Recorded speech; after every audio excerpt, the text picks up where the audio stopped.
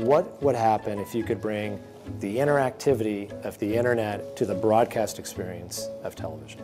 For a long time, we've looked at the internet as being separate from the television experience. But we know that a day is going to come when the internet is going to collide with the TV. NextGen takes CNN television and puts it in the hands of the consumer. CNN has such scale and we have such depth. I think what was important for us was if we were going to get into this interactive TV, what would it look like? NextGen puts consumers in complete control of the news. It allows them access into our control rooms. We may be just a tad early to your razor.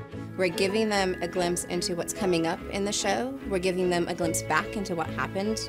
Any segment from any show in the past 24 hours. If you could put the control in the consumer's hands of being able to scroll through that rundown, you would create a whole new way of watching television.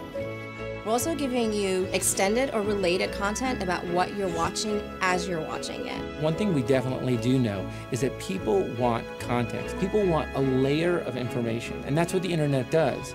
Right? TV is linear. It's just a signal that's going out. But the internet provides layer after layer. You can have as much or as little as you want. So if you're watching a story, we'll give you background. We'll give you a photo gallery of the key players. We'll tell you how you got here, all in one screen experience by creating a product that allows the anchor in the studio to be talking about a particular subject, but then bring all of that information in contextually below it and allow somebody to click through, scroll through, and find that information and look at it all in the same experience would be something that would be transformative.